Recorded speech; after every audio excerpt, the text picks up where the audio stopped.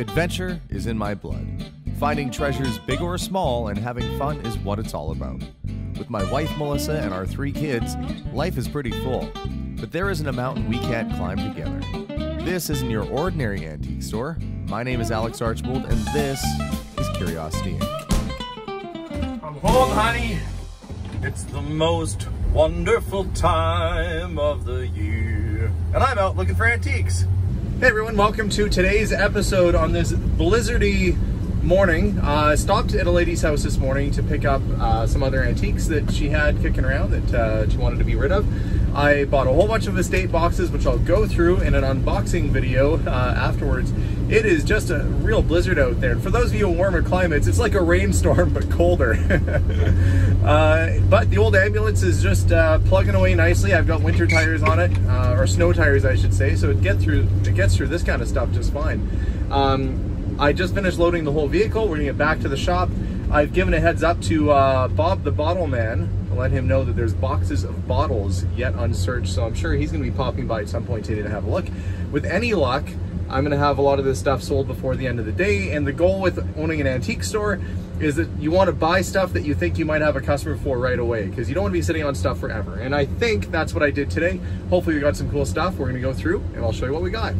I had to park in the backyard today because they're clearing snow up at the front. And it's probably, I don't know, like a half foot of snow that's come down in the last hour. Hopefully I can get out of here after. But I was able to unpack everything from the store. At the shop, safe and sound. And this is my assortment of stuff that I got in today. Well, not the Lionel train set, I had that before. But all these little boxes here did come in today. And we're gonna go through them one by one and uh, lay things out and I've not gone through the majority of these boxes. Um, I was told, and sometimes when I go to a state, they say, listen, that's a bunch of bottles. You got to take the whole thing, take or leave it. So uh, that's what I did. I uh, just took a bunch of stuff without going through it. Um, some of the things I saw in here I knew were kind of okay. So I think based on uh, the price I got everything for, it should be all right. But we're going to unpack, put stuff on the counter, and um, yeah, hopefully we'll end up with a few gems in here today. We'll start with the first box because well, it's open already and it's gonna be easy to access things. Um, I wanted to point out that I don't normally buy cups and dishes and things of that nature, but I do buy them when they're from a railway. And that is an early Canadian National System, that's um, CNR. So that they had steamships, uh, trains, all sorts of things. Canadian National is still around, known as CN. Uh, that's a little coffee cup that came off of probably one of their trains or ship. That's a slightly newer version. That's their new logo. You can always kind of tell how old something is from the logo. But things that are um, from a railway, like the Northern Alberta Railway, things that have logos on it like that are much more collectible, especially if they're used on a train. So when I do buy cups or glasses, usually it has to be like, you know, off a steamship or off of a train like these are. That's where the interest lies for me. Um, as we're going through this box here, there's a few interesting little things. Now, I'm not sure. This is a screw top lid off of a what presumably was a bottle. I'm not sure what type of bottle that was. Maybe somebody watching at home knows, and you can put it in the comment. But I liked it because it's a figural piece of like, you know, a little kid kind of with a uh, whoops, what did I do face. um, it'd be curious if I ever found the bottle that that went off of, that would be a piece that I'm sure somebody would be missing out of their collection. That was just kind of fun. Also little uh, garniture. This is probably off of uh, the way it clasps like that. It locks in. That's probably off an old ice chest or locking ice box. Um, nice piece. And if you're uh, rebuilding a cabinet or want to put some fun hardware on it, a lot of times people do buy old hardware like that because it looks so cool. Here's another, this is a railway lock. Now this one uh, was dug out of the ground. It's not in the greatest shape. It does work still though. You can see the difference in condition between the key, which was brass, and it's in perfect condition, and the lock itself, uh, which has started to rust. Now there are some rusting agents you can put on there that will take the rust away. Uh, I've used some before. Uh, the fact it's working is a good sign, but this is CNR, Canadian National Railway, with its matching key. That kind of goes with that Canadian National cup, same kind of idea. Now here's another cup that's kind of interesting. I'll see if I can hold it up to the light, maybe you can see. Um, it says The Macdonald, Grand Trunk Pacific. Now, the Macdonald Hotel is the Hotel Macdonald here in town. It was only the Grand Trunk Pacific for, I think, just a handful of years, and then it uh, got changed over to Canadian Pacific. Big old grand railway hotels. They're all across the country in Canada and the US.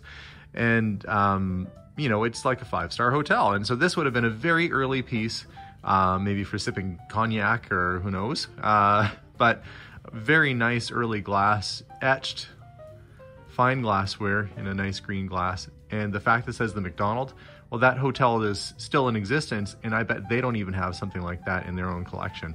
It's a rare find, a rare piece, especially the fact it says Grand Trunk Pacific right on it.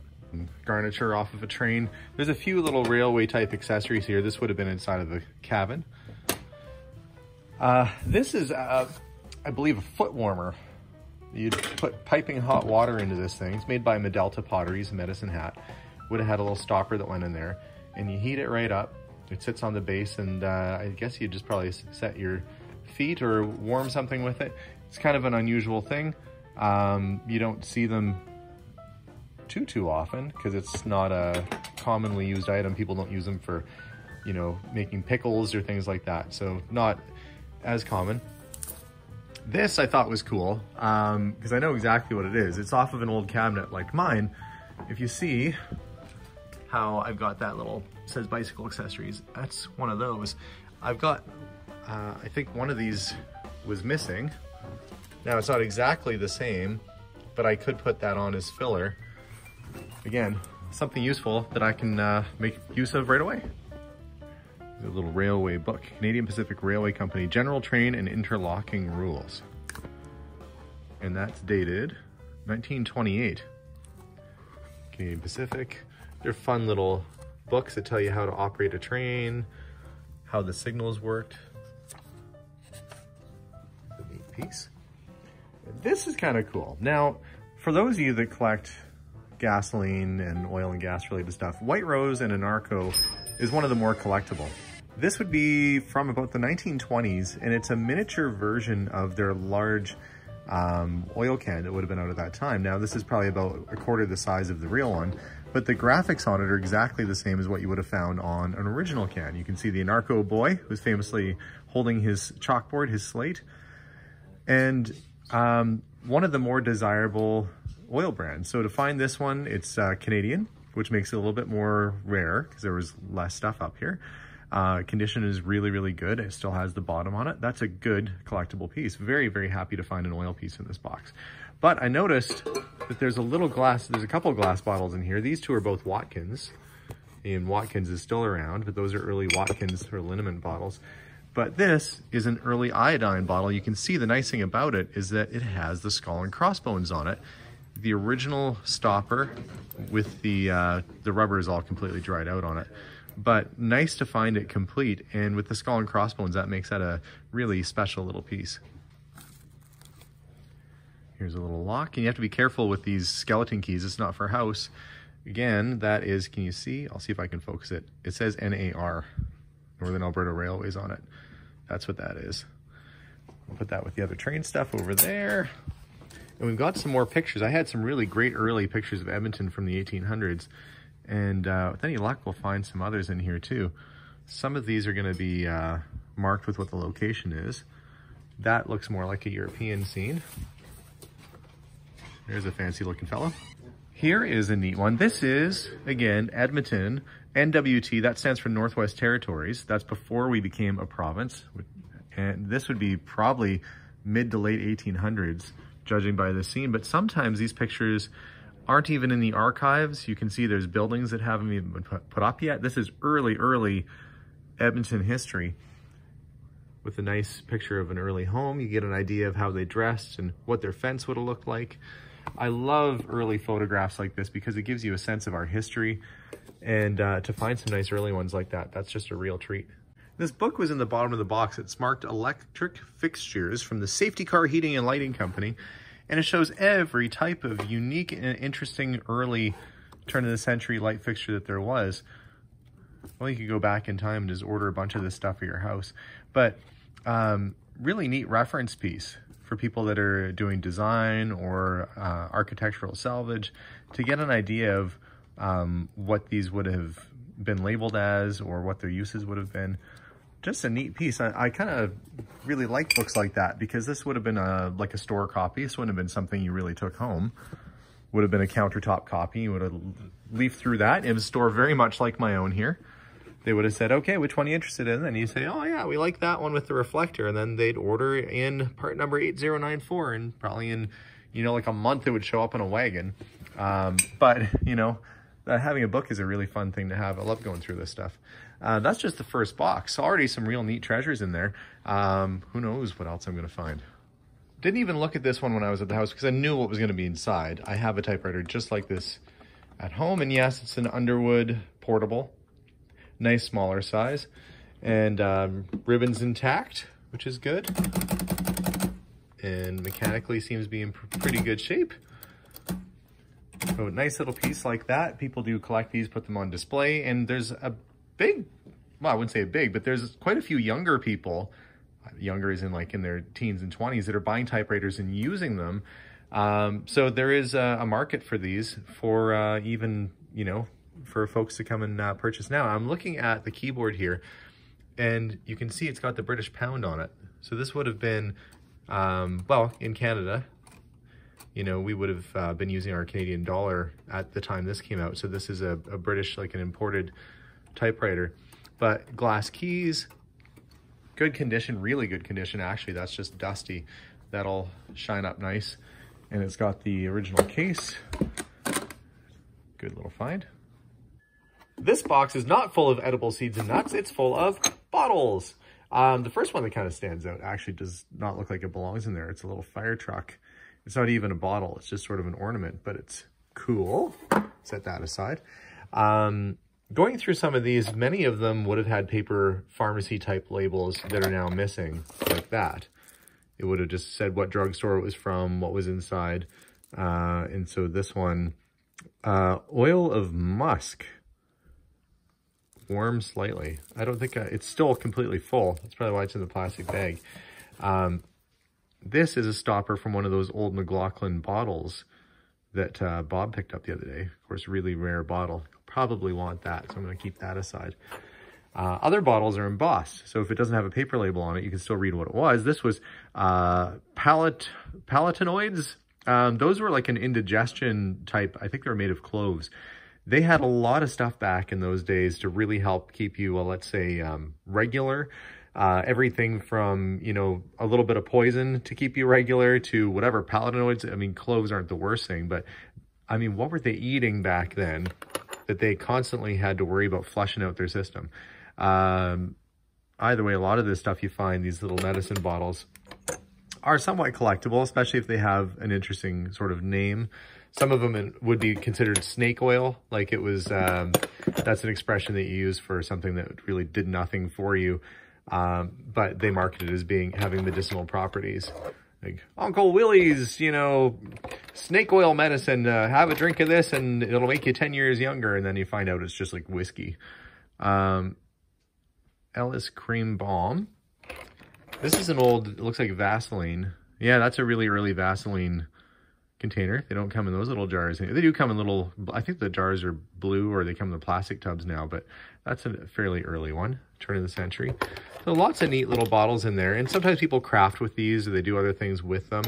Um, you can tell if they've been buried in the ground, there's calcium on it. And you can use some products, sometimes like a CLR will take the calcium off of the glass. Um, I don't have any CLR handy to give it a try, otherwise I would. Others, you can see they, they come up really, really nice. Um, but I'll see if there's any poison ones in there, anything that are a little bit more valuable. Otherwise, these will probably just go out you know, kind of at a price by the each so people can do whatever they want with them. Sometimes you just need a little bottle for something. And look, I'll have lots of little bottles. Unpacking some boxes and going through some things. If you remember last week, we also had a variety of bottles come in. And Tim has come here all the way from Minneapolis to come and visit. Uh, he had some work to do here, but uh, you've ended up finding something cool. Yeah, actually I did. I found the same, the old uh, ink bottle. Well, we have a look at it. And we'll take a look at it right here. I have it in the bag. Now, you were saying you have a an older home filled with antique furniture, and you have a, a desk, a hundred-year-old desk. Yes, and it is a hundred-year-old desk, and we will be putting this on there. Yeah, and I was I was saying this interesting story about that is the lady I got hmm. this from had dug this out of the ground about 50 years ago. It has a patent date of 1893 on it. And there's your rest for your pen. So that was in last video, and now here we are just a week later, and it's going to a new home. I saw it in the last video when I was looking through the store. I saw that and I thought, this is what I need to have. Well, I'm so glad you came So in today to see out us. Thank you. And I did manage to get some other nice early soda bottles. This one's from Starlight, Capital City.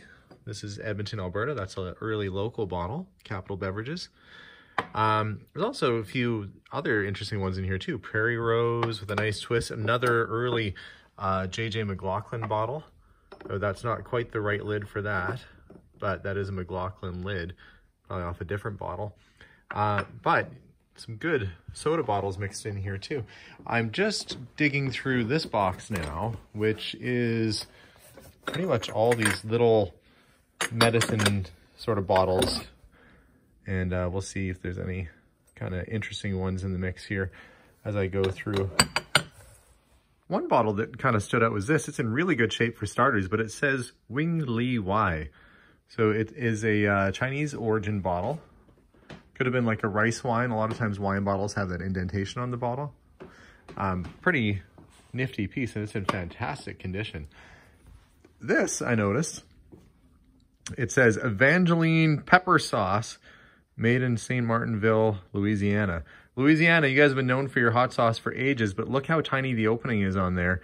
The little dab will do you. It's like, um, you know, mind you, who knows back in those days what they thought was spicy. They might have been like, what is there, ketchup on this thing? Ha! As they try and spit it out of their mouth.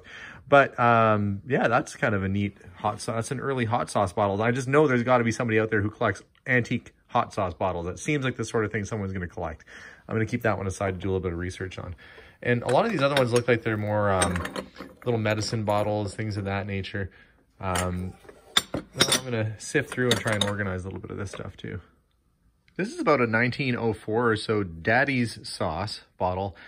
This was bought out by Heinz over the past many years, a long time ago. Uh, they manufactured like a steak sauce. It would have been a like a, a, meat sauce, kind of like HP sauce. If you're in Canada or England, you might know that. It's like a heavy Worcester sauce with vinegar. Would have been a dark brown kind of color. Um, and there's all kinds of neat little things in here. History of food, at least history of food bottles. And uh, there are some people that will actually buy a bottle like this that still has the stuff in it and they will try it. And um, that just seems gross. When I went through the Potter's house, people wanted to buy the food out of the fridge and eat it on camera. Did not send it to them because I didn't want to inadvertently kill anybody, but there are folks that do all sorts of stuff out there. Here's something that's not a bottle. I've been kind of taking out the bottles from the boxes that were a little bit more on the interesting side, like 100 year old beer bottles or whiskey and scotch bottles that were kind of neat. Um, did find this though. This is probably from the 60s or 70s, but it is a railway clock. CN with the 24 hour time. This would have been in a station or a terminal. Pretty neat piece. Even the bag is old. Zellers hasn't been around here forever. Um, I'm finding that there's, I mean, I ended up with a lot of bottles. I mean, these are all boxes of bottles here. And in this situation, I don't normally sell bottles um, this quantity, so I'll probably end up trying to wholesale these out to another collector. Uh, I am interested to see what little unique things in here, like this old Pepsi bottle salt and pepper shaker I might find, that are kind of standout items that I can sell in the store. So anything that's a little bit more unique, I'm separating, and uh, anything that, um, you know, is kind of in mass quantities, I'm going to try and move along. I've got all these old, that's white whiskey, Buchanan's white, Buchanan's black and white whiskey. There's tons of bottles. It's an old piece of copper. It says something on it too. M. Mc, McKenney? McKen, Mc? Stanford, Montana? It's hard to read. It might have come off an old trunk or who knows what that's from. Um, kind of unique item. This is an old lantern. Piper usually made railway stuff. But that could have something to do with the railway. I'm gonna take it out and see if it's all there. It looks like this one is new old stock, meaning it's never been used or sold. It had the original instructions there. It says, yes, care of oil signal lamps. This would have been an insert for a uh, railway signal lamp with that tiny little glass piece. This is just kind of unusual. It's all there and it's obviously in like brand new condition, still has the instructions. It's a neat find. This was another neat item that came in today. This is another arcade machine. As you know, I'm always on the hunt for cool old arcade machines. This one is an English Smarties machine. Now, Smarties, for us, and it looks like it was then too, they are candy-coated chocolate, kind of like an M&M's. It's like Canada or England's version of an M&M's. Um, this is an early piece, you know, probably teens or 20s kind of era. And you'd put a penny in, you'd fling your penny out. If it went around, it would spit out a roll of Smarties at you. Now, um, the person I bought it from, she said that it's almost impossible to win. Well, that's how most of these games go. In fact, that's how casinos make their money. Um, that said, it's a cool piece. It's going to need a little bit of TLC, but the graphics are amazing, and that's what people are after. This will be a great display piece, and I might even keep it and put it up in the store. Some really neat finds today. Going through some of these old pictures, you know, you look back and you reflect on times that have gone by, and you think and you're left with the impression that a lot of these people in these photos were raging alcoholics because most of the bottles that we find uh, dug up in our river valley in the old dumps are whiskey and gin and uh, you know apparently they uh, they liked their hooch back in the old days so 1800s uh, wild west kind of edmonton yeah they were uh, finding other ways to keep warm in our winters but I found some neat stuff. I'm really happy with the collection of the things that came in today. I'm certain that I'll get a call from um, uh, Bob, our bottle friend, about at least the poison bottles and some of the other ones. And uh, one of the other things that I'm really happy with is this little En-Ar-Co oil can. That's just such a cute little thing and a nice little collectible. So some fun stuff. I have a lot of work ahead of me to put all this mess away, but that's what we do. Every day stuff comes in and stuff goes out and hopefully we'll find new homes for it. Thanks a lot for watching today's episode. If you have not already, don't forget to hit that subscribe button.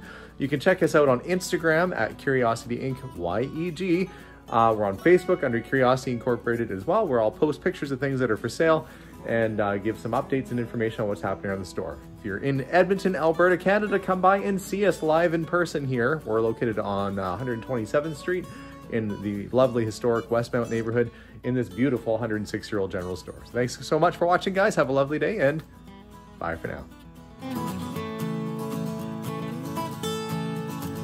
Update.